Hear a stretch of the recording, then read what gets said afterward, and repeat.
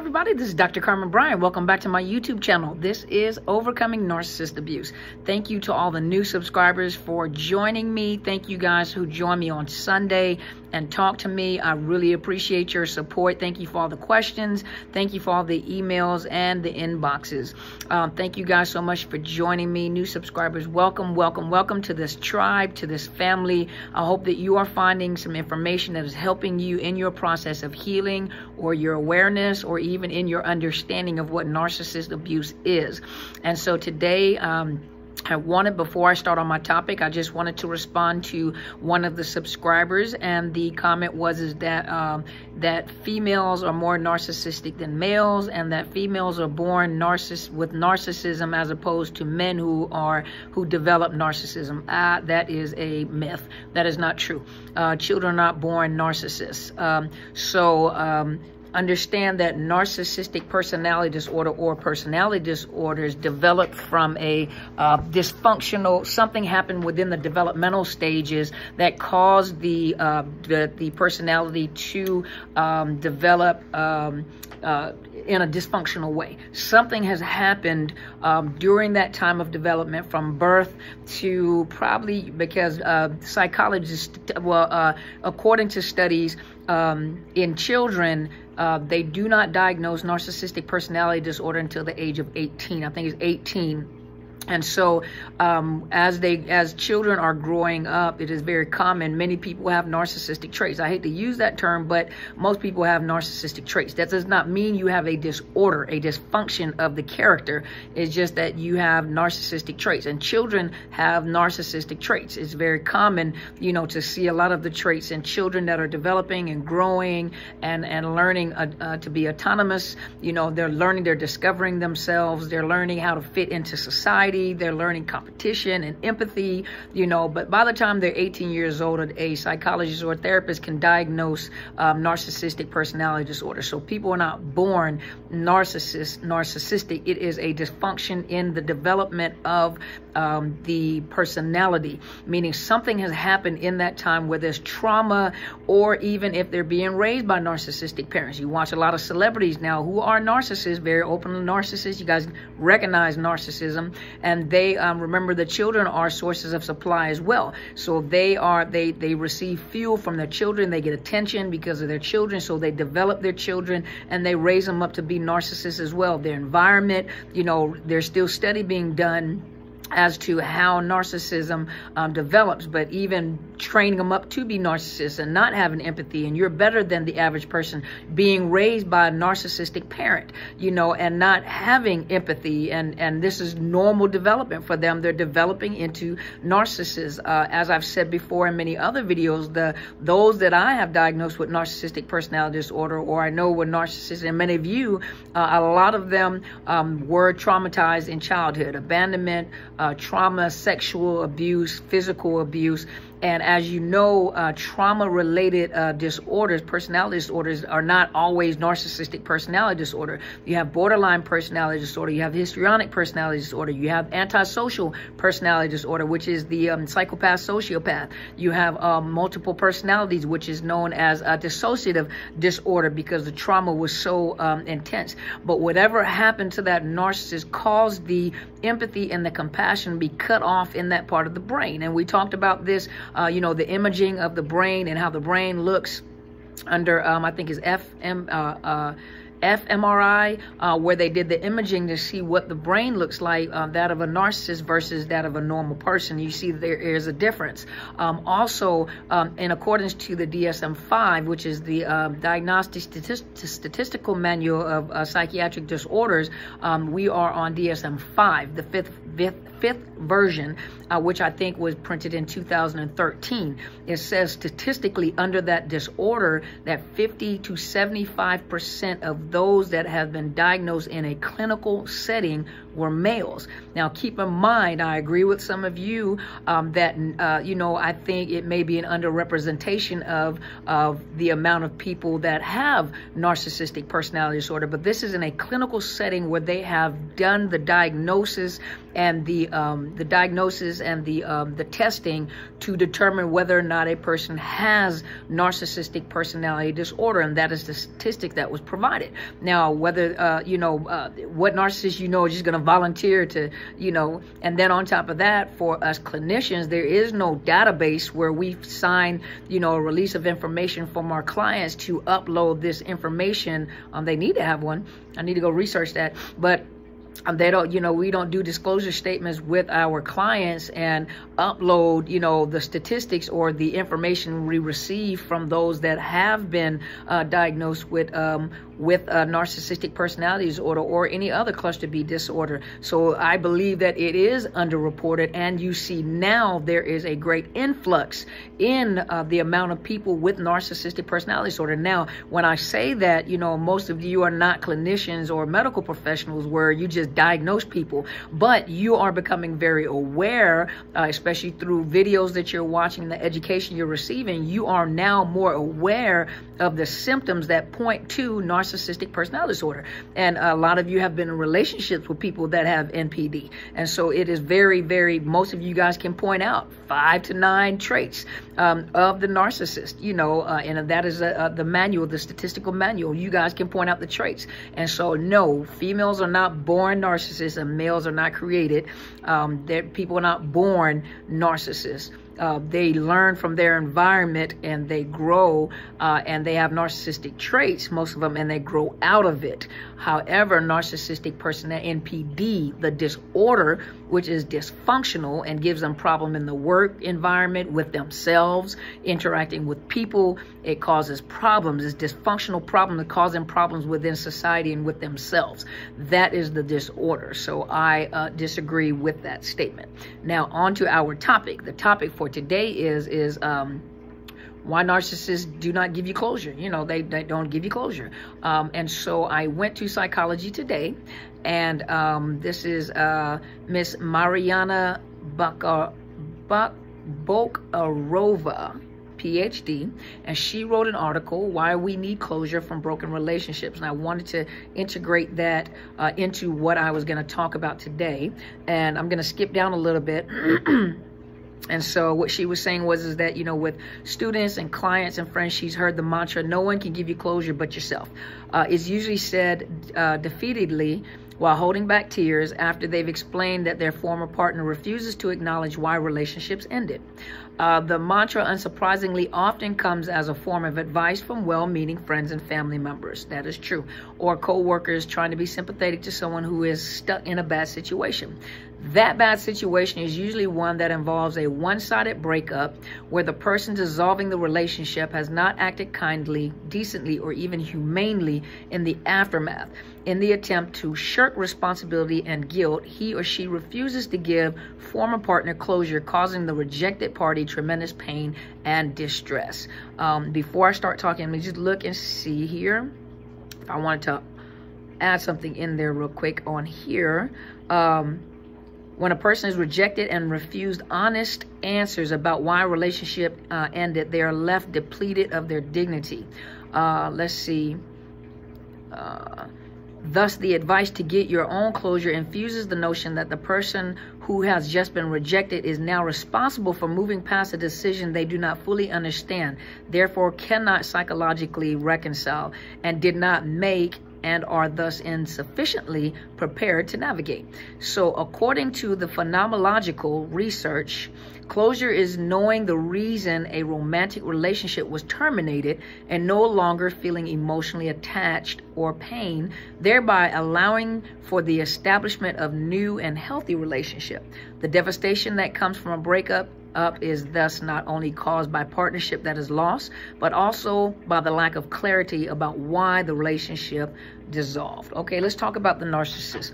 Why would a narcissist give you closure? Closure meaning that, um, you know, that they would have to admit to their uh, part of, of the role that they played in the relationship, meaning that they take they acknowledge and they take responsibility for the role that they played in the relationship that hurt you. You know, this just didn't work. You know, uh, you weren't my type, or you know, I don't think that I'm going to change, or you know, I, I realize how uh, you know the role that I've played in this relationship, and I don't think is working. I'm not happy. You're not happy, and I want to see you happy. That's too empathetic, uh, and a narcissist is not going to point. They're not going to look within, and they're not going to point out, you know, their deficiencies. They're not going to acknowledge nor are they going to accept responsibility for the roles that they play. It's always going to be your fault. And so in this situation, I must say that when you're coming out of a narcissistic relationship, you do have to learn to discover your own closure because of the fact closure meaning that you have closed the door locked the door and threw away the key and you're moving forward in your life and you're healing and you're you're trying to where you're learning through videos and education what narcissist abuse is or was and what role these narcissists play what their problem was. You know what is this personality disorder? What are the characteristics of this? And you taking your responsibility meaning that maybe I didn't research enough of this individual. You know there were some red flags that I've ignored that that I didn't realize, you know, there are some wounds in my heart that uh, weren't closed, you know, there there were things that were going on that I did not see. I did not see this coming. I did not realize I was being played. They lied to me. They presented this image of this perfect person and I desperately wanted to believe because I wanted love. I wanted a relationship. And so I kind of dismissed a lot of the red flags. You know, that's our responsibility. But the game that was played, the harsh and cruel game that was played and the purpose for the relationship, the real reason behind the relationship for supply, that is the responsibility of that narcissist, the cruel game that they played, the pain that they caused, the trauma bonding, the lies that they told to make you believe that they were this perfect person, this perfect soulmate, you know, that you had been looking for. If it's too good to be true, it's probably too good to be true, you know. But, you know, to close that door means you have entirely too much power, meaning you do have to learn how to close that door and move forward.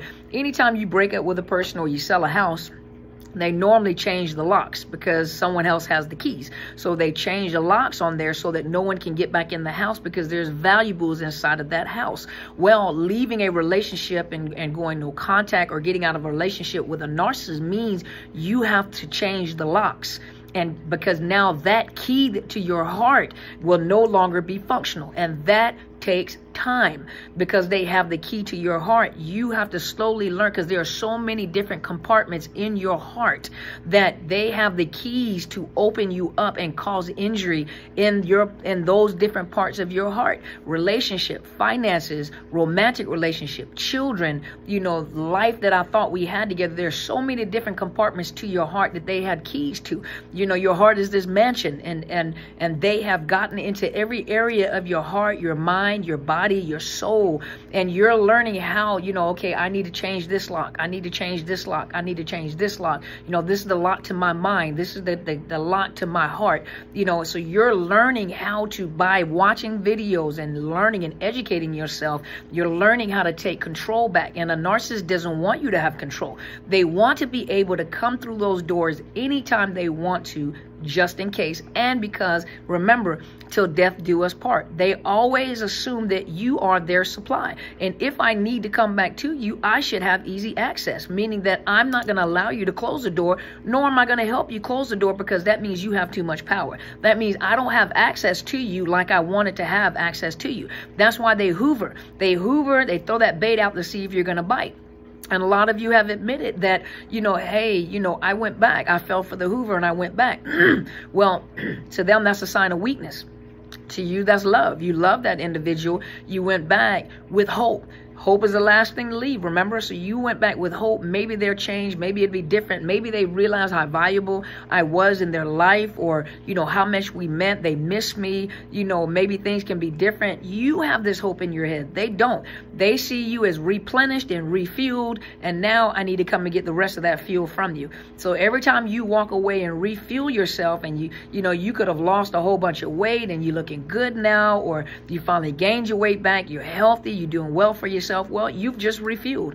You know, and if you ever watch um, gas stations, you know, um, whenever they run out of fuel, they bring the big gas truck in there. You know, the big Exxon or the big gas, the fueler that comes in and puts gas into the tanks that's underneath the um, gas station. But when the fuel starts running low, you notice that, that when you press the uh, gas, it starts shaking because it's pumping out the rest of that um, that fuel that's in that tank. You can tell that it is, is kind of slow, then it pumps out kind of slow. It's got a sludge to it, you know, it's not really pumping out really fast. Well, that's the same thing with a narcissist. They wait for you to refuel, and when they realize the pumps are full, they come back to try to drain you of that new energy you've gained. And so, really, you end up being worse and worse and worse and worse because someone is playing with your emotions, someone that does not care about anything but themselves. And so, you do have to find your own closure. You do have to learn about yourself.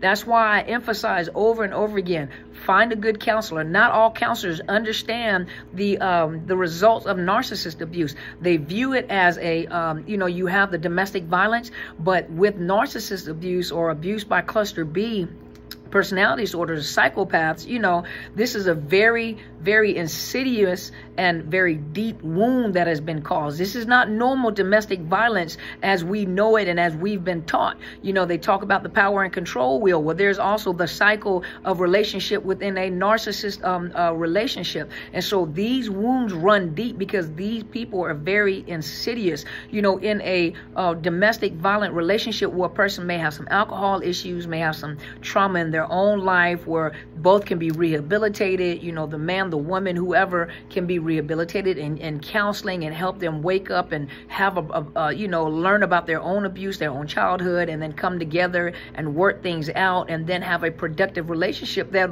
those are the cases. But in a narcissistic relationship they're they they are applying the same methodology that they use for a regular well nothing is regular but for a regular domestic violent counseling. This is not the same and the approach is not the same so it's almost like you have to go in with the assumption that everyone is a narcissist and work from there to see if things change. Because if you don't, you'll miss it.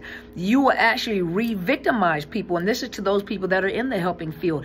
Uh, I mean, you can't mistreat people, but you know, you have to go into it with, you know, it's, it's almost like you're going, you're going with all your gear on and you you it's you overprotect rather than underprotect. And when i say overprotect i don't mean you go into counseling and overprotect these people and make them dependent on you but you go in with the mindset i've got to go in fully armed knowledgeable about knowledgeable about narcissist abuse even if it's not at that level 10 but i'm going to go in with the compassionate understanding it's a possibility you could have been connected to a narcissist.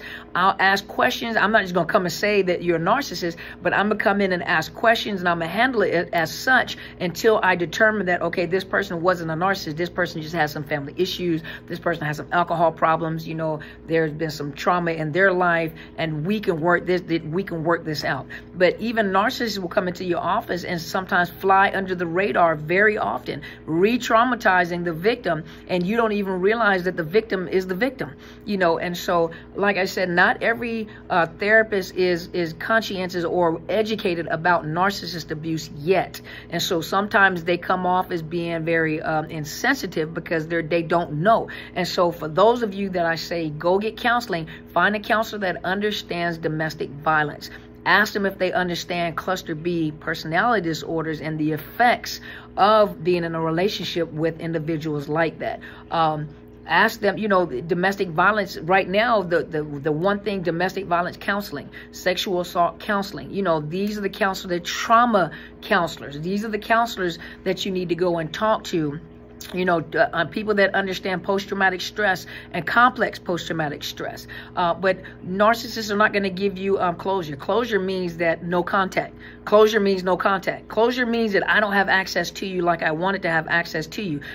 Closure means that you took your power back. You have power, and I don't like that. So I'm not going to let you close that door, and I'm not going to help you close that door because that makes it that makes me vulnerable. That means I can't have access to the fuel that I need, especially if you go refuel. I can't get my foot back in the door. No contact, no contact on social media, no contact with friends, no contact with family. You know, now there's a difference with, uh, and some of you have asked, should I go no contact with the family? The family has always been very neutral and very supportive of me. You know, you just have to be careful at what they're reporting to the narcissist because the narcissist is very manipulative and can ask a lot of questions. You know, hey, you know, um, you know, I just want to know how they're doing. If they don't know that the individual is like that, the narcissist will ask questions of the family member, mutual family members that you have with the individual. So just be careful, be aware, and do what you need to do to protect yourself. So I know this is not a long video, but hopefully that answered the question about why they don't give you closure because they still want access to you. That's pretty easy. I could have just stopped the video there, huh? But I just wanted to make sure that you guys understood that yes, you do have to seek your own closure.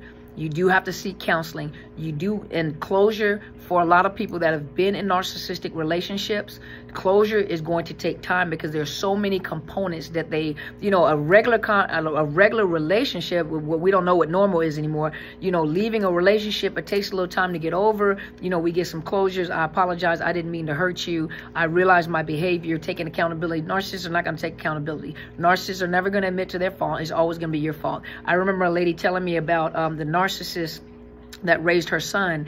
And um, he went back um, to provide the son with closure because he was very abusive. And he apologized for his behavior said that he was a young father. He didn't know how to parent. He did not know how to um, you know parent. And he did cause some trauma and he apologized for um, you know what he had done. And in the midst of that in the midst of that healing process he immediately turned around and said, and now keep in mind, he abused the child from the time that he was probably like eight, eight or nine years old, I believe it was, or five, six, seven, eight, nine, ten years old during that time frame. One time, he's about five to 13, I think it was. Five to 13. So he had five to 12 or five to 13. So he abused this child from the age of probably like five or six years old till probably about the age of 13. And he told him he apologized for his role that he played and that he was a young father. Then he turned around and told this, this young man, he's a grown man, told this young man, but you do understand the role that you played and that you provoked me a lot of times a child. Children do children stuff. But he told the young man, he says that you played a role in that and you did things to purposely provoke me. You did things, you know, after all that beautiful apology. So see, they'll never give you, they'll never give you closure. They'll always make sure that door's open, even with their children, even with their own kids. They can't admit to their faults. When they do, they that's just, that's too much. You get, they're giving up too much power. So hopefully this has helped you guys to get some understanding of why they don't give you closure and to answer some questions or some, make some comments on some of the comments that were made on the YouTube channel. And so thank you guys so much for joining me. If you have not already, my books have come in. Oh man, I don't have a book. Hold on, let me grab a book. So my books have come in. So let me grab one of the books and open it up. I just received a big old box of books. So this is my book. If you have not ordered it already, it is Unmasking the Illusion of Perfection. You can find it on Barnes & Noble and on ebook and on Amazon. You can get it on Amazon and it is on Kindle and it's only $12.95. I think it's $28.95 for the hardcover, uh, but it's only $12.95, a nominal fee. It's a quick read, it's an easy read, it's a good read. it is a Christian book, so those of you that are not believers, take out the principles because I took this book and what I did was that we talk about narcissist abuse all the time, uh, but I wanted to show you what it was like played out the situations that, uh, and, and in this particular case, it was women who told their story. These are real women stories. These are stories of real women in this book. And they tell their story of what families they came from, how they've been exposed to it, how they were groomed unknowingly, and how they got into these relationships and the things that they were thinking, stuff that happened to their children, how they couldn't defend their children, you know, and the thoughts that was on their mind, even to a point where they were homicidal and suicidal. Um, there is encouragement. It also talks to the men in here. So I did put in here talking to the men and how, how some women have treated men and how they talk to men. You know, some of the things that I witnessed on how women handle men. Uh, but, the, you know, it is, uh, I do provide Christian encouragement, uh, but just take out the, the principles. Take out the principle of this book so you can see what it looks like for narcissist abuse to be played out. And you will find yourself in this book. I'm telling you, you will find yourself in this book. It's an easy read, quick read. Some people say they've read it two or three times uh, because they can identify uh, with the people people that were in this book because they went through it too, and you can add on to the story. So Amazon, uh, it's on Amazon. You can buy Kindle and on Barnes and Noble and on I think is uh, westbowpress.com. You can purchase it there as well. It is Unmasking the Illusion of Perfection. Those of you that have asked, you wanted to donate, and I really, really appreciate uh, you wanting to donate. If you look at the end of the video, down underneath in the um, description, I will leave my Cash App and I will leave the PayPal account and links to where you can purchase the book. And I really appreciate your donate your, your donation. Do know that your donations will go toward um, uh, building class, the online classes that I told you guys that I'm going to do. The online class is going to go toward um, doing the um, the book and the um, magazines and as well as the workbooks that go with the online classes that I will be offering that I am working on now. And so thank you guys for all the new followers. If you have not already, please hit the subscribe button. I am Dr. Carmen Bryant, Overcoming Narcissist Abuse. Hit the bell so you know whenever I upload Tuesday through Friday, I pre-record and I upload. And then on Sundays, I come on live between 8 and 9 o'clock Pacific Standard Time. Lately, I've been able to come on a little early, but 8 and 9, 8 between 8 and 9 o'clock Pacific Standard Time uh, and that is West Coast time. And so uh, I'm also on uh, Facebook. My Facebook channel is Overcoming Narcissist Abuse. Hit the like button. I'm also under um, Psychological Health Consultants and Services. That is my professional page. Both of my professional pages, one has my book on it. Uh, Overcoming Narcissist Abuse has my book cover on it for those of you that would like to see the book. Thank you guys for your support. Thank you guys so much for being here with me. I am so appreciative to all of you and thank you for all the questions uh, and allowing me to think and provide you with information. I so enjoy you guys. Thank you guys so much. Know that you are well loved, you are appreciated, and I hope this information is helping you guys share this information. Somebody needs to hear this. And go be great.